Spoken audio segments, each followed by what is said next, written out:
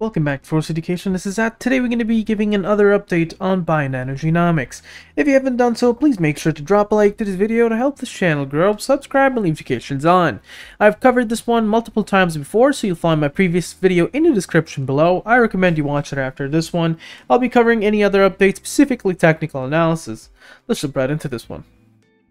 So on a due diligence here, quickly, what we get to see is, well, yes, we do know about their $200 million offering, and if you do recall, they did have another 101 before, $101.8 million, that puts them around, somewhere around $302 million net. And that definitely does pay off their entire debt. Other, the, other SEC filings aren't really uh, showing other much, so we know that their net proceeds is $230 million generally.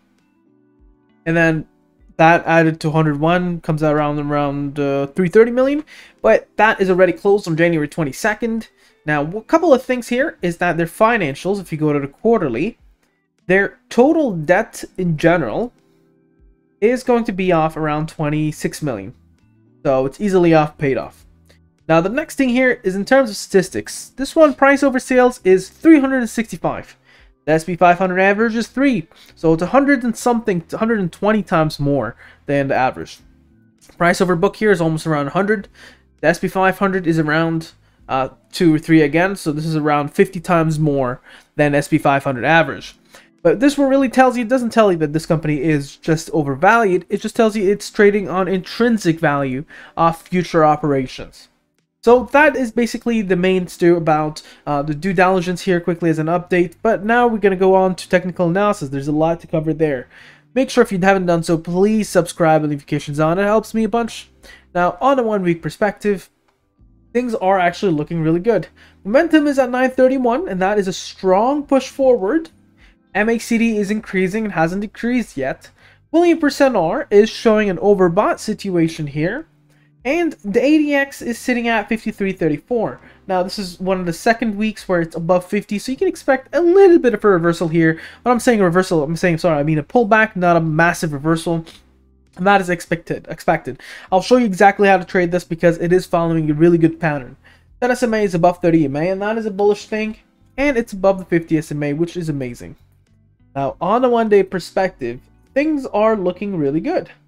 So, Basically, the 10 SMA is above 30 EMA on the moving averages. The trading action zone is between the 720 and the 464. Now, it hasn't been tested yet, but every time it just touched that trading action zone, or got close around here and here, it just bounced right back. So that's good. 50 SMA is above the 200 SMA, and so the moving averages do look bullish. Now, on an ADX perspective, it's been above 50 for a while, so nothing to worry about that. I'll just brush it off. MACD looks like it's stable. Momentum looks at 485. It looks pretty good. And the William percent R is overbought, so that's a little bit dangerous. Now, on a two-hour perspective, things are looking better. MACD looks like it is attempting uh, a really good push over there. ADX shows in uh, a very strong trend, bullish trend here. And William percent R is showing overbought. Now, take a quick look on the moving averages. 10 SMA is above the 30 EMA and it's above the 50 SMA.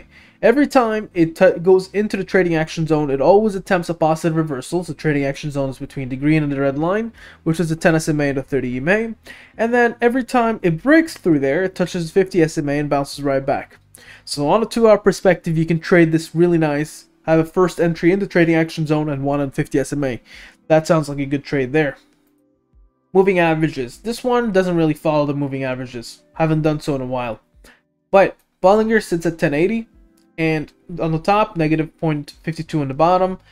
Moving averages, for the sake of the argument, it's still increasing and that's good. And actually, there's a gap in there. Uh, it's basically increasing in width, and that is good. So 565, 514, and 463 on top, middle, and bottom, respectively. Now, stochastic fast and stochastic slow. The fast is showing uh, a potential run another run here. The slow showing an accumulation possible period. Now, moving on towards Fibonacci retracements and Fibonacci uh, supports and resistances, we get to see here that a significant support currently lies in 994, 787, 624, 510, 395, 254, and 25 cents. Reason why I said support and not a resistance is because it did actually run in the extended hours. And so it is currently above there. And so for now, we need to find the significant supports and resistances using a price line action. Significant support sits at 1050. Significant resistance currently sits at the 999 uh, or 995. Below there, we're looking down at 947. Below there, we're looking at 898. Below there, we're looking down at 807, 752, 715. We drop all the way down to 591, 505, 442, 405, 348, 272, 202, and then all the way down to 162. Now, quick thing about this one here is where I was talking regarding the channel, or the basically pattern, actually does really follow a really strong trend line on the bottom here. It has multiple touching phases. That is amazing there. And currently, it did do just that where it basically bounced off from the 1050 it's dropping down so you can expect for it to on monday to start trading between 1064 on the top and 911 and it can easily bounce from there and the bottom is 782 so, so far it hasn't broken that bottom pattern yet. That is amazing. That's something to really consider. Draw a, draw a trend line into the bottoms uh, on the one hour perspective onto a one month period.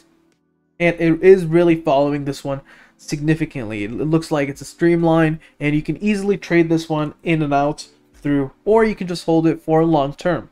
Now, what is my perspective for this one on a longer term? Things are clear for me. This one for uh, genome mapping, that is a little bit bullish in there. Uh, it's a game changer based on all the PRs we're getting. I myself, am not a technical in that field. I'm civil engineer, so the exact details of how it will disrupt the markets, I'm not sure. But as also someone in academia, I'm able to say, well, it definitely will help a lot of researching. Now, generally speaking, this technology does look somewhat does look bullish. It has patents behind it something like 100 patents. Um, and in the long term, you can probably see a better, uh, sorry, a nice run. Now this one ran from 25 cents to what is 1050 currently. That is a massive, massive run. So expect pullbacks here and there. And in terms of how far it will run, if the intrinsic value doesn't, or sorry, the actual value doesn't match that intrinsic value, remember the intrinsic value, it's currently around 50 times more overpriced than the market average. And um, that's not, I'm not saying it's a bad thing. I'm saying if the actual uh, price doesn't match up to there, that could be trouble. And what they're trying to do here is they're adding $200 million in terms of uh, a public offering. And what's that adding is that they're adding cash. For cash, total assets. For total assets, it fixes their prices over book. So later on, you can come and say, oh, well, price over book is only 10. It's not 300 something. And so they're trying to basically fix that through a public offering, and it's working out for them. So the price over book is definitely going to match there. The only concern is price over sales needs to uh, up their sales through marketing and uh, different channels. That is only my expectations. And from the $200 million offering, we do expect that they actually will improve their sales as well. What do you think about the sticker? Make sure to mention down in the comments below. Share, subscribe, and like. You have a wonderful day.